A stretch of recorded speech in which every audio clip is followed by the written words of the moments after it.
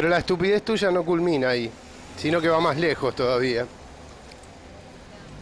Pese a que es de público conocimiento que no solamente desenmascaro y denuncio policías y sus relaciones, vos le haces creer a la gente que yo soy. Vos le haces creer a la gente que yo soy poli. Lo cual no resiste el menor análisis y necesita censura y difamación para instalar esa idea. Como tantas otras ideas que instalaste por censura y difamación.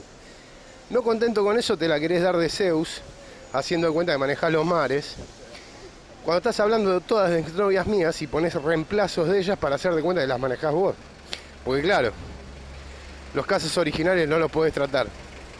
Y cuando tratás un caso original lo tratás de forma encubierta, porque tenés gente trabajando ahí, o alguna novia enojada, exnovia enojada conmigo, que lograste tener laburando ahí por la espalda, según tus propios dichos, ¿no?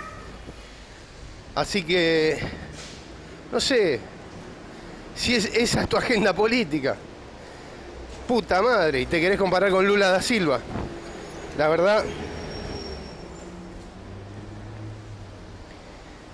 poco probable que, que sea comparable tu actividad a la de alguien que camina a la calle. Esa es otra cosa más. Yo camino todos los barrios y vos te la das de gran conocedor de los barrios. Y viví sentado en un lugar diciendo boludeces. No viviste nada en la vida, pero nos querés contar a todos cuánta sapiencia y sabiduría tenés.